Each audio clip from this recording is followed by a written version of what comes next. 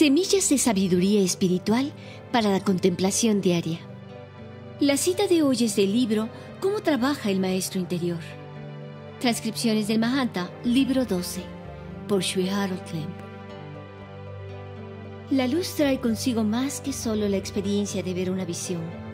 Algo ocurre en el corazón de la gente que verdaderamente experimenta la luz de Dios.